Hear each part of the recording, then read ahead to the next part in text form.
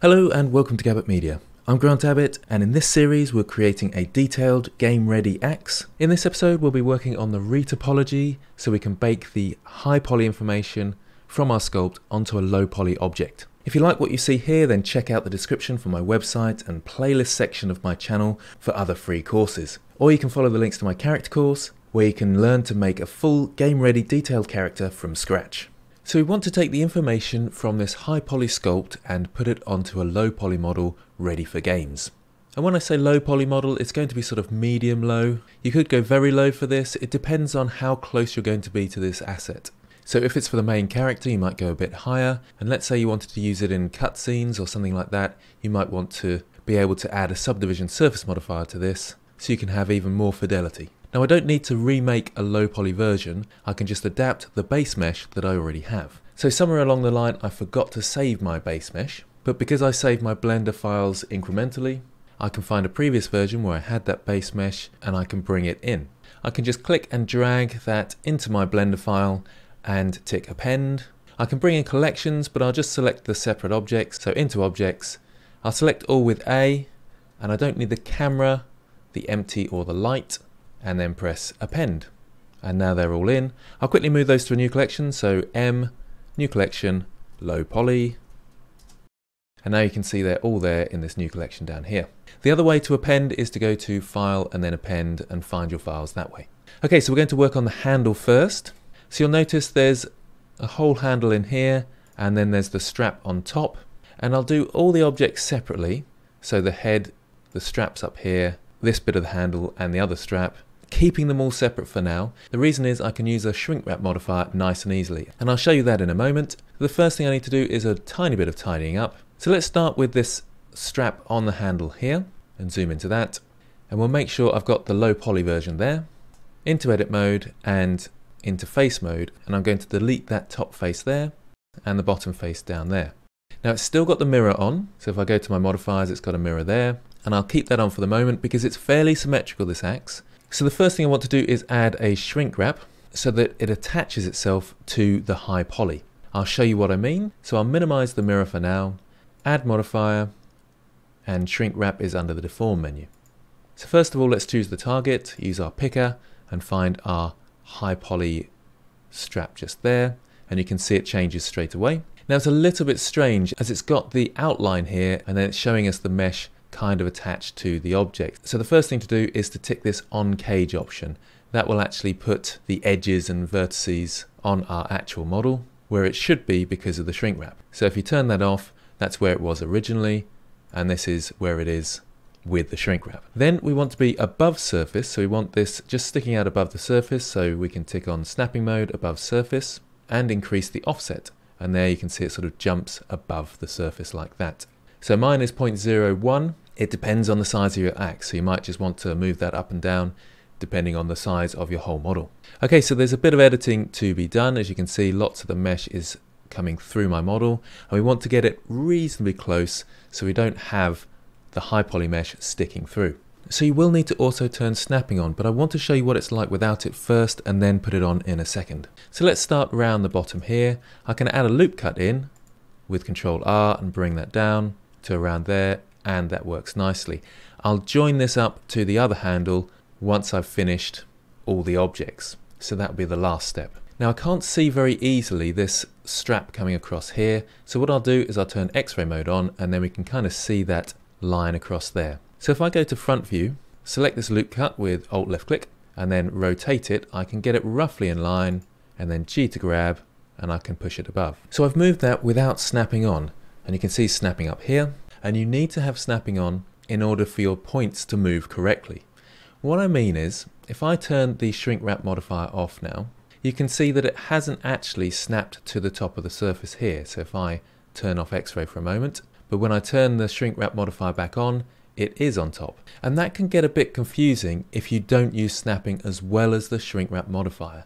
Lots of people ask me the question, why do we use snapping as well as the shrink wrap modifier? Well, their actual position is here without the shrink wrap modifier on, which is below the surface, and sometimes that can cause lots of problems. So if I grab this point here and move it right out here, with the shrink wrap modifier on, it looks like it's working okay, and I'm going to press G to grab and try and move it into position. And it's acting a little bit strangely.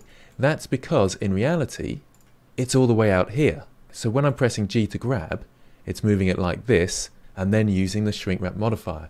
But if I turn snapping on and have it with faces enabled and then press G to grab, it snaps to the faces of the high poly model. Then combined with the shrink wrap, which puts it just on top, it works perfectly. So you must have snapping enabled as well as the shrink wrap modifier. Under the snapping tools, like I say, we use snapping to faces, but also it's helpful to have align rotation to target. That should help you when you're going around a corner and things. So make sure you've got that selected as well. And I'll talk about project individual elements in a second. So now when I press G to grab, it actually sticks to the surface below. That combined with the shrink wrap means it's always slightly above because we've got that above surface and we've got that offset there. And that's exactly what we want. Ideally, when you're matching your low poly mesh to your high poly mesh, you don't want any big sort of blobby bits like this sticking through. Tiny bits like this should be okay, but where possible, get those to a minimum. Okay, so let's bring back X-ray mode so we can see that line and then start lining up with the line. What I like to do, which can be a bit tricky for you guys to see, but I'm trying to go above this strap, so this bit that sticks out the furthest, and then it will need a new loop cut in here. Now if I press Ctrl R now, notice it's really difficult for me to line up my objects. And that's because we haven't got a setting in the snapping. So I'll undo that, go back to my snapping, and that's project individual elements. If I have that ticked and I press Ctrl R, I can now slide this loop cut up and those individual bits of the loop cut, the individual vertices, will now slide into position. So let's get that reasonably close and just check that's okay. Now can you see here, there's a slight curve going up and there's a reasonably big gap within here. So I think it's best to control R and add another loop cut in here. That gives it the chance to follow the mesh much more closely. And if I come in here and press G to grab, it will stick even tighter to that area. So let's just smarten some of these up. So now we've followed that mesh much more closely. Let's just turn off the X-ray mode for a moment and we can see we've got a bit of blobbiness coming through so we might want to press Ctrl R and just have another loop cut there. Now this is the tricky bit, deciding on how far to go with your low poly work. Obviously each loop cut is adding a lot of faces, but we will get better fidelity, so better detail when we look closely at our model in areas such as these. However, if you want to go low poly, you can just have two loop cuts in here and it will still work out well. It's just when you zoom in, you might notice some inaccuracies. So I'm going to go a bit more high poly than is necessary, just for that really nice fidelity and detail at the end. If you're going very low poly, you can have much lower loop cuts, so one, two, and three at the bottom there.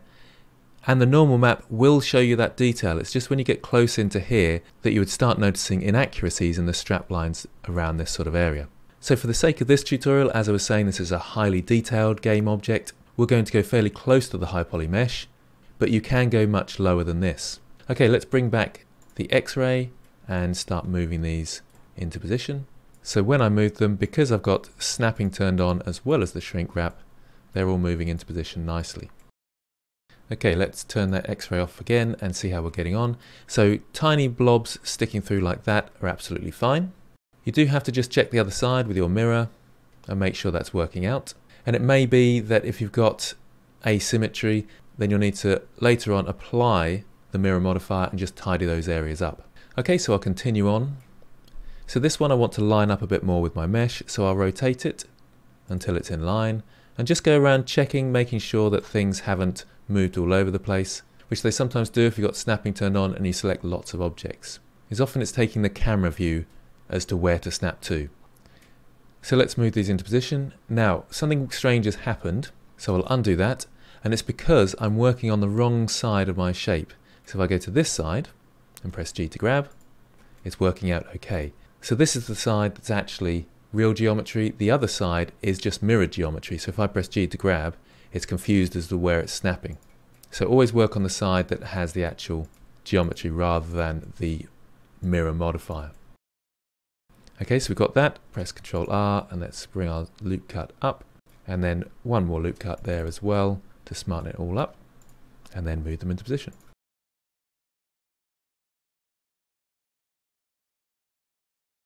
Moving this into position, you can see there that it went a little bit strange to start off with. That's because I'm selecting lots of vertices at once and sometimes they don't snap where you want them to. Now that one's a much smaller gap so I can probably get away with just two loop cuts there and still keep that nice detail. After adding a loop cut it's still important to go in and select each of these and move them into position to get it as close as possible to the high poly. Okay, so we'll have another one around here. Just go to front view and line that up a bit more. And probably one more for this one on there. And you can see those blobs slowly disappear as I move them into position. Okay, let's get back to solid mode and I need a loop cut in here. And as soon as I do that, we lose a lot of that blobbiness. So just a bit up the top here. Back to x-ray mode, front view. Let's just move this into position first. So loop cut in here. And that's all I need for now because I'll link these up later on. You do just have to be a little bit aware of these sort of areas because there's quite a notch in there, but that should be picked up more by the normal map. You don't really see it in terms of the silhouette, and that's the outline of our shape. So from here, it's got a curved silhouette going around there. I'll go back to X-ray mode for this, so you can see that curve going around there. And at no point do I really see it from the silhouette or the outline. And that's where you'll notice inaccuracies in the normal map. If I come around to here, you can see the silhouette of this coming around here, so I have to be more careful with this shape that it follows that pattern. So always make sure you go around just double checking that everything's snapping correctly and that's both snapping to your object as well as the shrink wrap. And we're trying to make sure none of the blobby bits are sticking through as little as possible anyway. So for the handle I'll go a bit quicker because it's very much the same. So I'll select the handle, into front view, into edit mode. I'm going to delete these faces in here. So let's go to isolation mode with forward slash and select those faces that I'm going to delete back out of isolation mode and delete faces. So I'll set my shrink wrap up.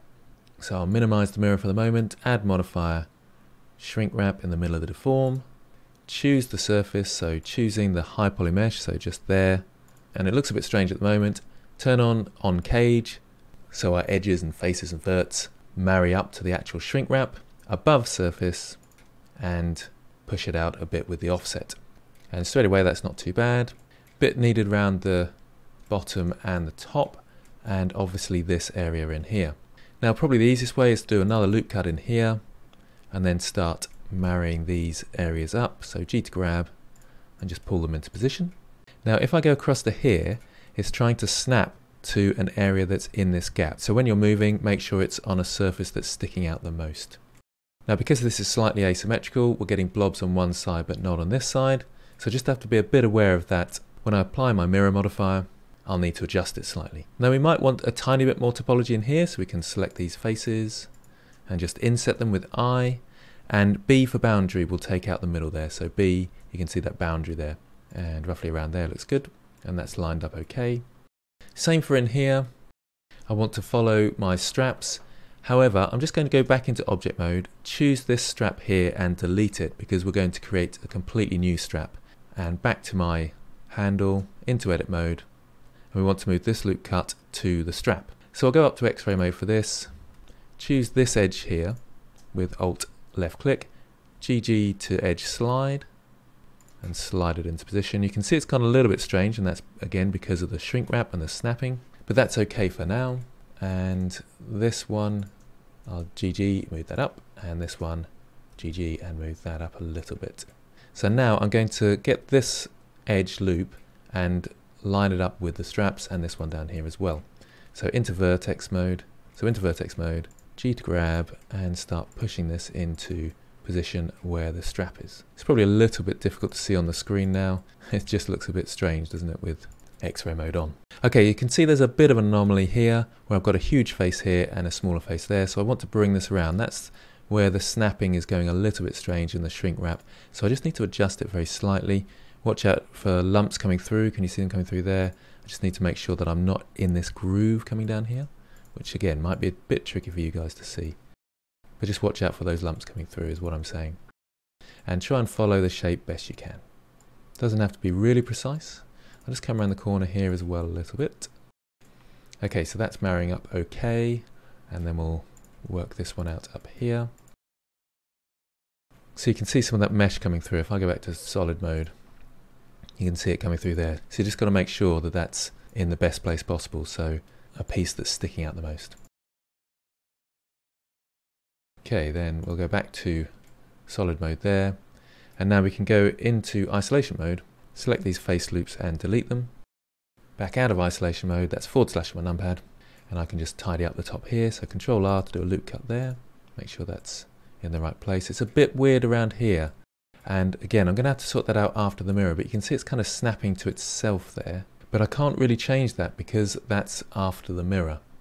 So I'll have to go back in after I've applied the mirror to sort that one out. Now the top face is all over the place, so select that top face, I to inset to bring it in, and then we've got some better topology there. And I might do one more I to inset and bring it into there. Now we can go into vertex mode, K for knife tool, and just bring these in left clicking on each of these verts, E to do a new cut. So each time I go to the next one, I press E to line those up. And now we've got a quad base mesh. Obviously don't do it with that last one there, that's your quad. You might just want to smooth these out just a touch. Okay, let's just line these up as best we can. Now you can see it's losing a bit of its shape, so I'll bring this one up. We're doing okay there. And then we can bring that next one to a better position. And like I say, I'll have to sort those ones out after we've applied the mirror. Now these loops in here, if I select a few of these and just GG to slide them down a bit and just adapt the shape slightly, more even faces like that is preferable, so then you've got more chance of hitting the high poly mesh below it. Okay, so that's the basic retopology of the handle. In the next episodes, we'll talk about slightly more complex retopology of things like the upper strap. So hopefully you're still finding this useful. Let me know in the comments below. Well done to all those people who've got this far in the course so far. Thanks for watching, and I'll see you next time.